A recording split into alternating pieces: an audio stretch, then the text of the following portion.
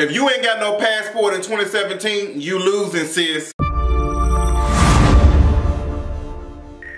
What's going on y'all? It's time for a conversation about the things that have been trending on Twitter this week. One specific topic was the passport topic. Our girl Amanda Seales from the hit show Insecure made some comments on Twitter. She had some things to say about people who buy Air Jordans and Nike outfits but don't have passports. Now to make sure that we are clarifying and understanding what she is saying completely, I'm going to read out some of her statements. If you're buying Jordans and Nike suits but you're sleeping on an air mattress, you're losing. If you're buying Jordans and Nike suits suit but you don't have a credit card, you're losing. If you're buying Jordans and Nike suits but you don't know your credit score, you're losing. If you're buying Jordans and Nike suits but you don't have a passport, you're losing. Girl, she had Twitter shaking up. There were a lot of people that felt like it was a little bit elitist and a lot of people felt like that she was making comments directly towards black people. Now, not in any of um, Amanda's tweets did she say black people, but we know how things can be construed and constructed and made it seem like that, you know, I'm talking about the specific group, but I'm not going to necessarily say certain things, but I'm going to add certain things that might be perceived as stereotypes or whatever to talk about specific group. Now, in my opinion, I do feel like Amanda was talking about black people. Um, those bullets did fly and they did hit, they hit me. I myself do not have a passport. I don't have one. Um, I've been out the country um, twice, uh, probably th three times. I've been to Iraq,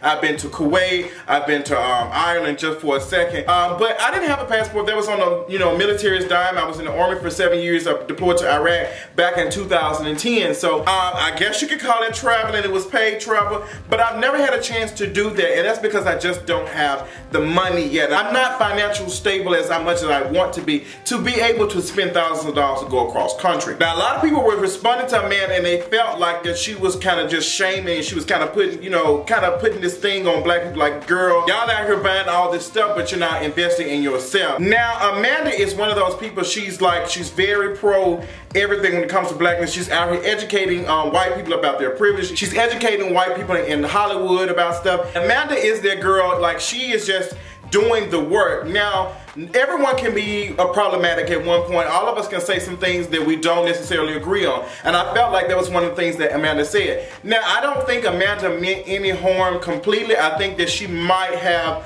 um, did it unconsciously, like she didn't know that she did it. Like she just said something that she felt and people took offense to that. They felt like she was directly uh, targeting the black community. And I felt like she was a little bit, but knowing how Amanda is, I don't think that's what she meant. I think her words were trash and how she used it. Sometimes we have to be careful how we want to go off and say certain things.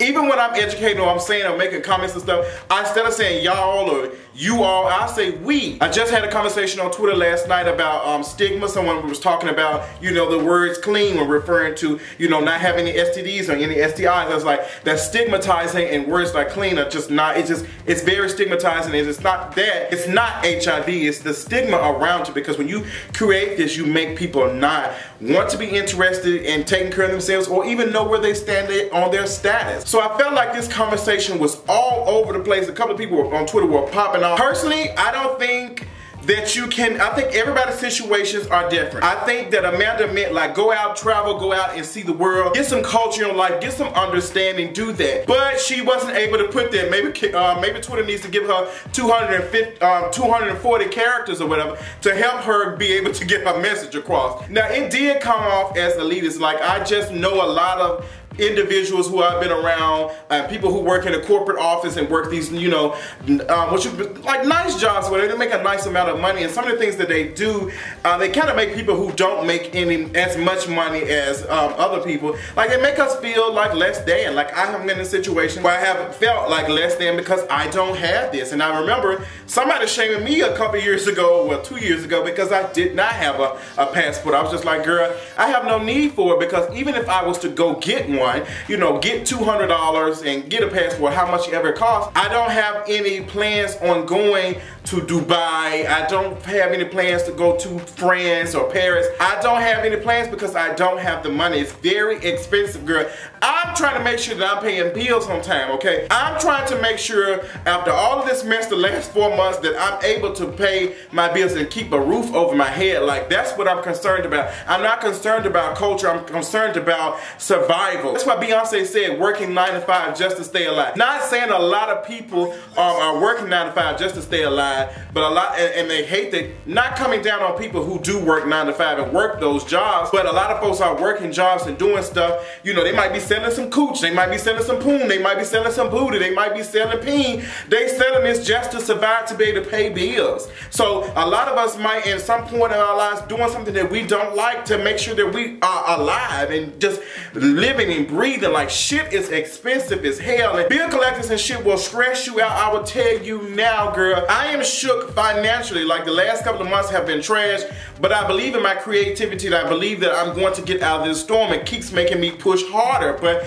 it is hard. I don't give a damn about a passport. Like it depends. Like that's I don't like when people say that I have traveled. I've done a lot of traveling for the last two years thanks to everything I've been doing with kingofreads.com and you know my YouTube channel and the podcast. Like I've been, you know, uh, uh, like I've been asked to do certain things. I've been asked to go to New York. I've been asked to go to Miami. I've been asked to go to California. I've been asked to go to Texas. I've been asked to go to these several places to speak some part. Like I've been asked to do certain things and even more things are coming. But like that doesn't like I haven't had the money or the chance yet to do that in another country. Yeah, but it might be coming. It might be coming. But to shame people that don't have passports is trash it's elitist. Like, I, I, don't like it. I don't like it. I'm gonna give you a prime example. I'm gonna give you all an example. Not too long ago, I went in, you know, my leasing office and I talked to the, uh, whatever, the manager. I said, I don't have the money to pay the rent this month. Like, I ain't got it, bitch. I ain't got it. Like, I need y'all to work with me.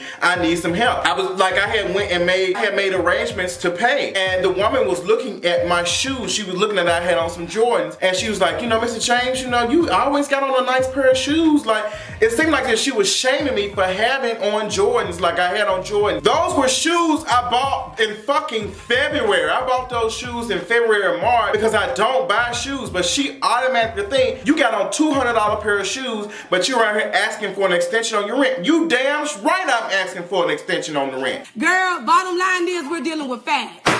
I've been paying y'all ass for a whole year on time every day, not asking y'all for shit. Even when y'all didn't have my, my hot water working, even when y'all were not having my air working, like I was still paying y'all on time in a timely manner. Like, girl, just because I had this one slip up does not mean you get to judge me based off the clothes I bought while I did have some money.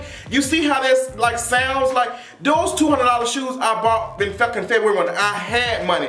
Those $200 still would not help me with my rent right now considering it's $1,100. Like the 12, it's not going to help me right now. Like you still gonna tell me this ain't enough right now. So, and these shoes I bought, these were the last pair of shoes I have bought this year. I have not done any more clothes shopping since March. Y'all ass ain't gonna see no new shirts. You ain't gonna see no new shit. Cause I don't have the money for no damn extra clothes, no wardrobe.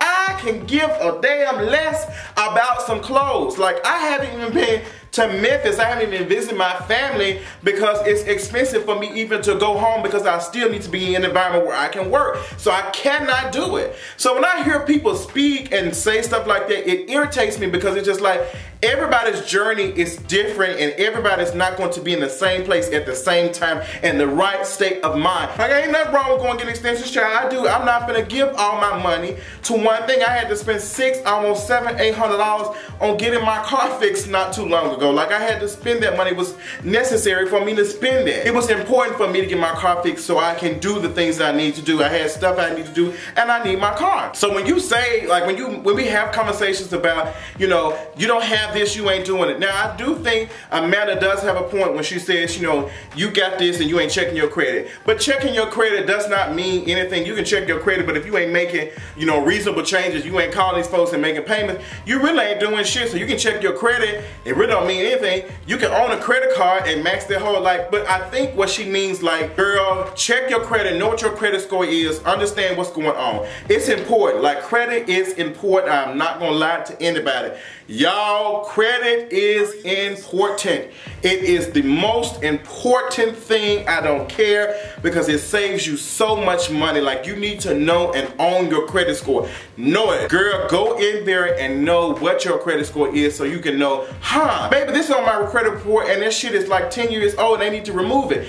Do stuff like that. Now that is important. Credit card, you might not get approved for a credit card, but go get you one of those credit cards you can put money on and they treat it as a credit. I think it's, what is it called? Um, a limited credit card or something. I forgot what it's called. Those have, those help in, increase my credit score for like 50, 50 points. Now, child, I've been maxing them hoes out because my ass been broke lately, but it is important. But I think when we kind of put these people in the box of like, hey, you got on Jordans and stuff, but you ain't out here taking care of your business. You don't know what I'm doing with my money. You don't know who gave me. Somebody might have gave me these shoes.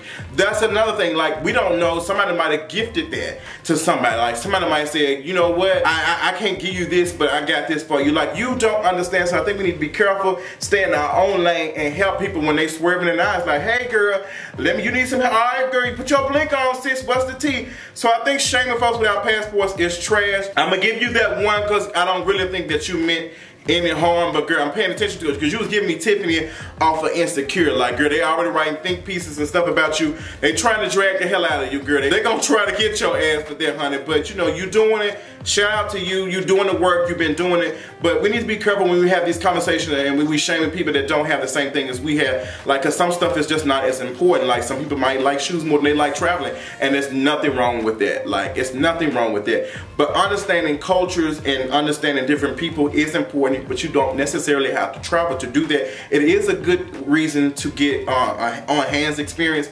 But sometimes, you know, some people just read it and understand it. But I see what you meant, Amanda. I'm gonna give you that one. What do y'all think? I'm interested in this conversation about passports. Do you have a passport? Do you think having a passport is important? Are you using that passport? And are you bragging about the fact that you have a passport? Be careful about some of the things that you say. Now, I know I'm one of those people, like, girl, I was shame somebody with some sun detergent in a minute, girl. That's one of my things. I just don't like sun detergent. I just, I don't. If you, like, use a sun detergent, try your best to go get something else. Because, oh, girl, talk to me and I can get you sit like two, three dollars to get you some Gain or some Tide or something else. But um, I can't deal with Miss Sun and I can't deal with Miss Purex. Not because the Purex brand is trash, just I hate the, the, the way it sounds.